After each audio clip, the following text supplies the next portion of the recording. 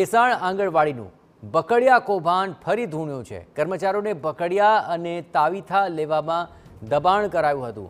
તત્કાલીન સીડીપીઓ કીર્તિક ઠાકર સામે આ મામલે તપાસનું ધમધમાટ છે.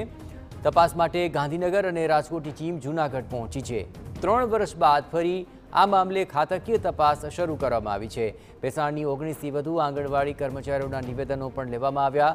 આ નિવેદનો અને સ્થળ તપાસ બાદ એક રિપોર્ટ તૈયાર કરવામાં આવશે. તો આ સમગ્ર મામલે હવે ખાતાકીય તપાસ શરૂ કરવામાં આવી છે અને ત્રણ વર્ષ બાદ ફરી આ સમગ્ર મામલે તપાસનો ધમધમાટ તેજ થયો છે. ભેસાણની ઓગણીસથી વધુ આંગણવાડી કર્મચારીઓના આ મામલે નિવેદન લેવાની તજવીજ પણ હાથ ધરવામાં આવી છે. નિવેદનો અને એ સિવાય સ્થળ તપાસ બાદ એક રિપોર્ટ તૈયાર કરવામાં આવશે અને તેના લઈને આગળની કાર્યવાહી નક્કી થશે. પણ ભેસાણના આંગણવાડીમાં આ બકડિયા કૌભાંડ ફરી એકવાર સામે આવી રહ્યું છે. આ ઉપરાંત તાવીથા લેવા માટે પણ કર્મચારીઓને દબાણ કરવામાં આવ્યું હતું અને તેને લઈને હવે ત્રણ વર્ષ બાદ આ તપાસ ખુલી રહી છે.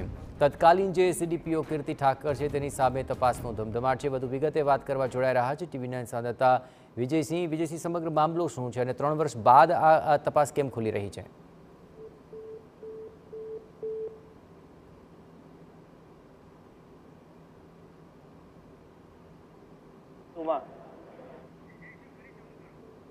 જે વિજયસિંહ ત્રણ વર્ષના વાણા વીતી ગયા છે અને ફરી આ તપાસ ખુલી રહી છે. શું છે સમગ્ર મામલો?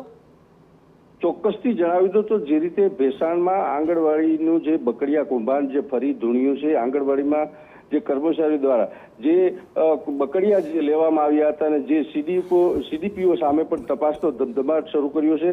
જે તત્કાલીન સીડીપીઓ હતા, જે કીર્તિ ઠાકર, તેમની સામે તપાસ શરૂ કરવામાં આવી છે. ગાંધીનગર અને રાજકોટની ટીમ પણ જુનાગઢ પહોંચી. આ સમગ્ર મામલે ત્રણ વર્ષ બાદ ફરી ખાતાકી તપાસ શરૂ કરવામાં આવી છે.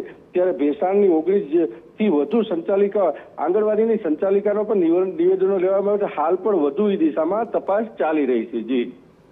જી, બિલકુલ. આ સમગ્ર તપાસ પર આપ નજર રાખતા રહેજો વિજયસિંહજી તો આખરે આ સમગ્ર મામલે ઓગણીસ લોકો સામે આ તમામ તપાસનો ધમધમાટ શરૂ થયો છે. બકડ્યા તાબેથા લેવા માટે દબાણ કરાયું અને તેને લઈને જે જે પણ કર્મચારીઓ સંકળાયેલા છે તે તમામના નિવેદન લેવાની કાર્યવાહી શરૂ કરાય છે.